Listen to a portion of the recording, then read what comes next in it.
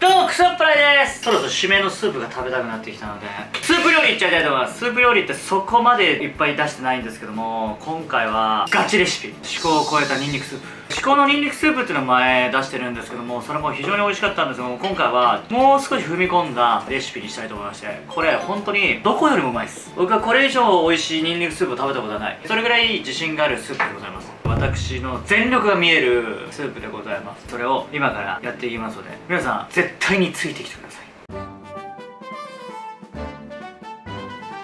リュウジのバズレシピ。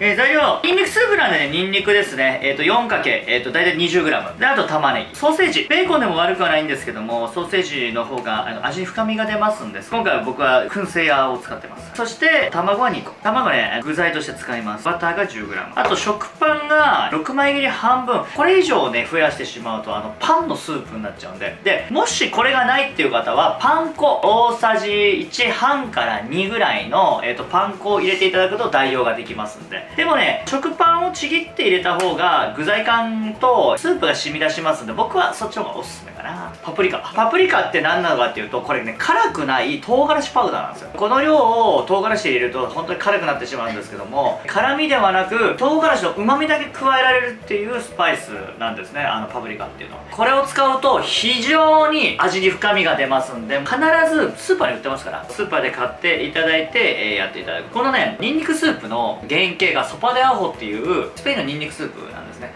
これを、えーと、僕なりに改良したもので、えー、本当に美味しいです。めちゃくちゃ自信あるんで全部その通り作って食べていただいた方はリュウジはあのいつも酒飲んでふさぎってる料理家だけじゃなかったんだっていう風に思ってもいただけると思いますんでじゃあやります。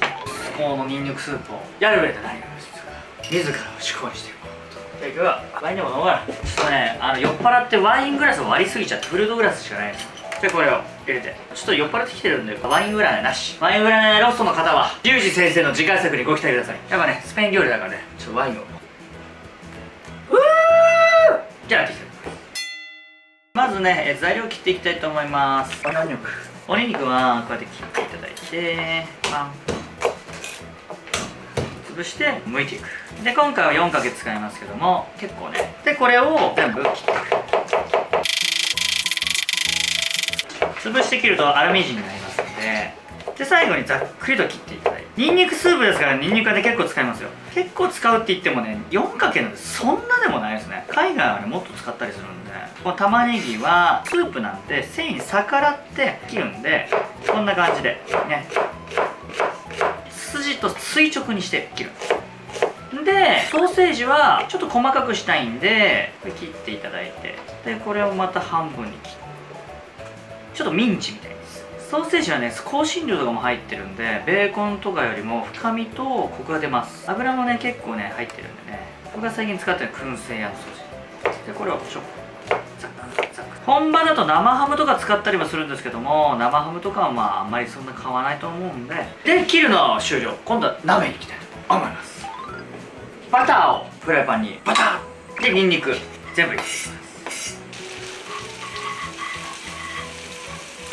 でニンニクをバターで炒めていきます。そこまでねあの焦がす必要はないので、まあ、透き通るぐらい。で香りがふわっと出てくるまで炒めます。これ中火ぐらいね。したら香りが出てきて縁がちょっと茶色くなってきたら玉ねぎあとソーセージ。でこれを炒めていきます。ソーセージはねだしとかも出るんで。ね絶対入れてほしい食材の一つ。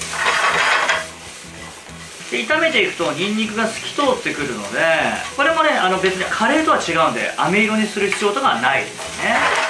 ということで食パンない方は大さじ2ぐらいのパン粉でも構いません。こうやってちぎって入れていく。これがスープの浮き身となって非常にねボリュームのあるスープになりますので朝食とかも非常にいいですよこれ。でちょっとバターとか野菜のうまみとかソーセージの油も吸わせて。そしたらねここにあります浄水器で。アクアスタイルっていう僕が専属でやってる浄水器があるんですけどもこれねめちゃめちゃいいんですけど水道直結型なんでねかなり使えます。でこいつを 350cc なければ普通の水でも平気でございます。上水の方がうまいけどね。あとスープベースとしてコンソメ。小さじ1と半分。コンソメはね野菜と肉のうまみがたっぷり入ってるんで美味しいスープ。になりますあと塩が小さじ4分の1でここにパプリカね。これ重要でございます。唐辛子のうまみがつきます。これはねスペインでも入れ入れるんですよ。これ小さじ1と半分。これを入れるとうまみと甘みがあと香りもつきますね。随分違います。これ入れてちょっと沸かします。パンがね浮き身になってくるんでちょっとね崩してあげるといい感じになります。沸かして野菜をね煮て味を出し。これね45分煮込むんで蓋を閉めて。はい。じゃあここで質問コーナー来てなるくん質問とかある？前の動画で僕の友達が動画出演してくれた時に自由研究の質問をあのしてくれたんだけど自由研究何やったらいいお仕事発見。社会科見学的な感じに決まったらしいんでなるくんなんか来てくれた。なるくんいくつ ?7 歳。7歳にしてはしっかりしてる。お仕事で一番嬉しかったことは何ですか？おいい質問。僕 YouTube やってるのね。いろんな人が毎日見てくれてるからでその料理を見て一緒に作ってくれてる人。でその人たちが「リュウジ君のスープ美味しかったよ」とか「この炒め物美味しかったよ」とか「ハンバーグ美味しかったよ」とか毎日ねコメントをくれるのね。それが励みになってすごく嬉しいし家族で一緒にね食べてて「リュウジさんのご飯だ」って言うとみんなが喜んでくれてすごくみんな長くなりました。っていうのがすごく嬉しいかな。前もママとリュウジのご飯作ったの？作ってくれたことある？お野菜切ったりしてあお野菜切ってくれてるの？じゃあちょっとまた作ってもろて今日の質問コーナーは、えー、なるくんからやっていただきました。えー質問ありがとうございました。なるくんありがとう。ということで数分煮込みました。スープがパンをね吸い込んでちょっとトロトロになってるのが分かりますか？でこいつを最後に卵を入れてポーチドエッグ状にして具材として食べたいのでこいつを入れていきます。ちなみにこれあの2人前なんで入れていきます。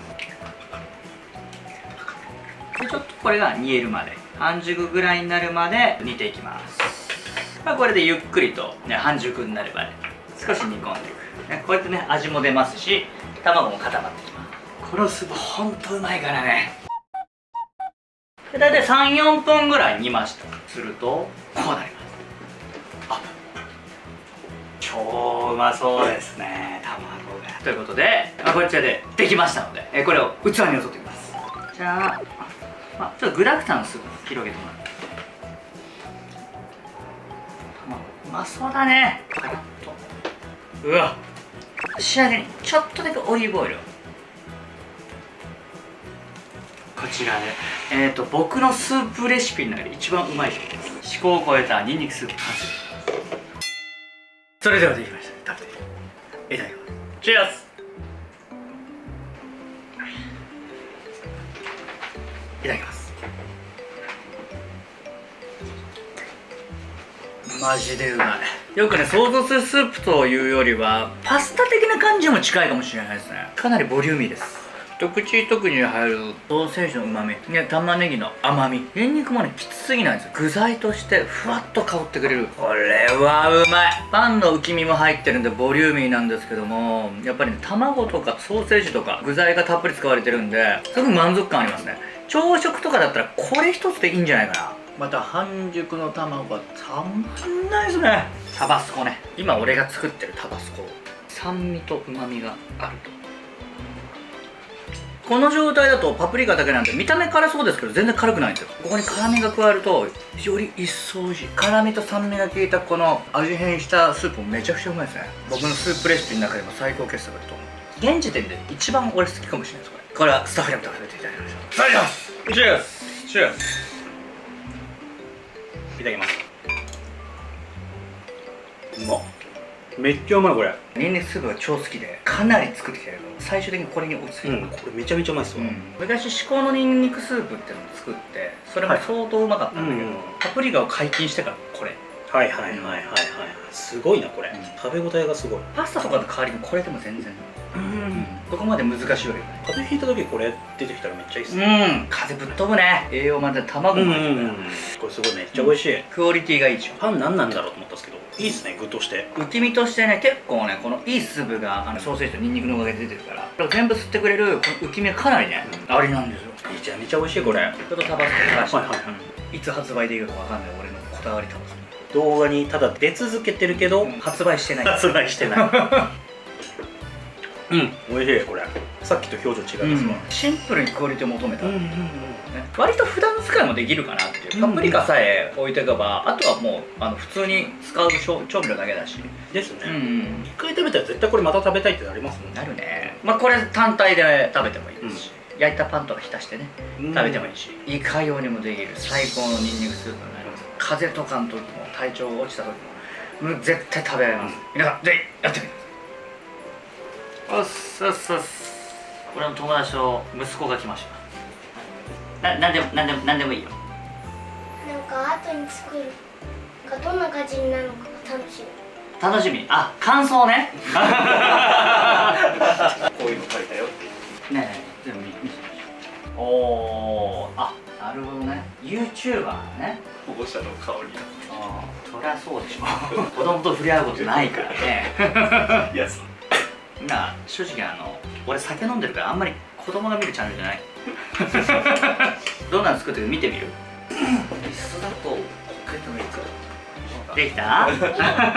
前撮った？まさかここに社会科見学が来ると思う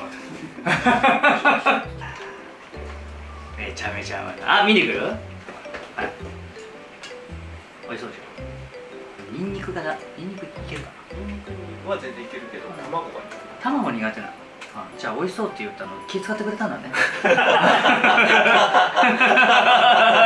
何美味しそう。7歳にして。でも普通に美味しそうできた子だな本当に、うん、美味しそうは美味しそう。じゃあ次あのオクオクラやる時に食べてね